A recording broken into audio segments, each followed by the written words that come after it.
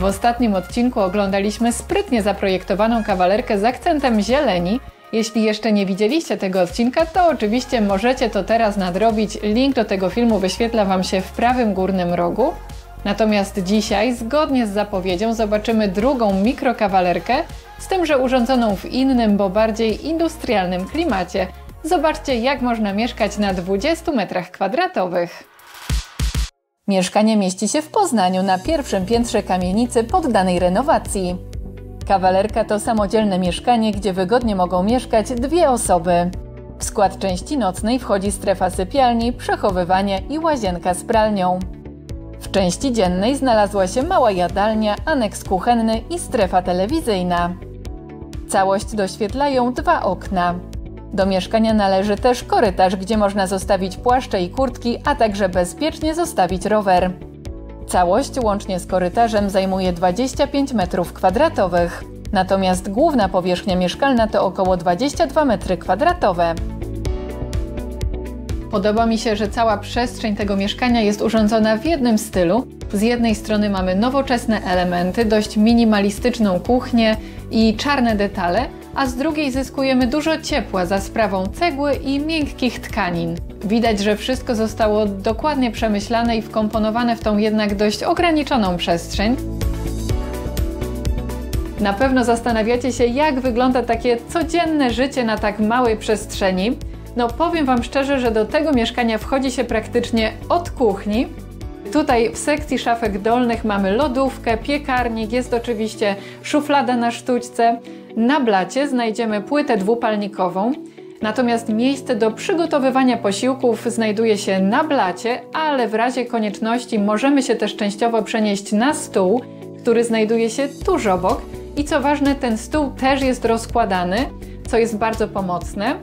Natomiast szafki górne, one są zbudowane z takich dwóch modułów, co nie tylko korzystnie wygląda wizualnie, ale też zapewnia maksimum miejsca na przechowywanie, co na takiej małej przestrzeni jest najważniejsze. I zauważcie, że ściana nad blatem została wykończona farbą tablicową. Dzięki temu ściana nie brudzi się, jest łatwa w utrzymaniu czystości. Na pewno zauważyliście też, że na całej powierzchni mieszkania jest wykorzystana ta sama podłoga wiodełkę, przy czym to nie jest drewno, jest to imitacja drewna, a dokładnie podłoga winylowa, która spokojnie może być stosowana również w kuchni, ponieważ jest ona wodoodporna i plamoodporna. Założeniem projektu był podział kawalerki na strefy, dlatego na dobudowanej ściance działowej z jednej strony zamontowano telewizor, a z drugiej ukryto podwójne łóżko. Miękkie obicie ściany zostało wykonane na wymiar, więc teraz w sypialni można się wygodnie oprzeć. Szafy, które są w tej kawalerce głównym miejscem przechowywania z uwagi na kształt pokoju i układ okien, musiały się znaleźć po bokach łóżka. Możemy tu schować ubrania, torebki i niektóre sprzęty.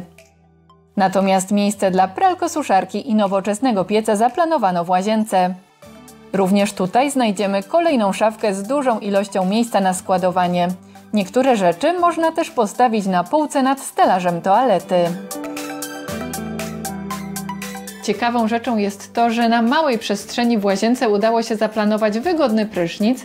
Jego wymiary to około 70 na 80 cm i taki prysznic typu walk-in bardzo dobrze sprawdza się w małych łazienkach, ponieważ dzięki niemu przestrzeń optycznie wygląda na większą i jest też łatwiejsza w utrzymaniu czystości. Tym mieszkaniu chyba najbardziej podoba mi się połączenie różnych tekstur i faktur, które razem nie przytłaczają, tylko tworzą spójną całość.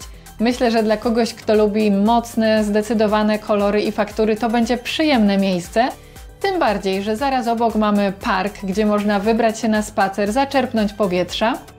Jeżeli jesteście zainteresowani taką ciekawą inwestycją w dwie mikrokawalerki połączone korytarzem, to wszystkie potrzebne informacje znajdziecie w opisie filmu.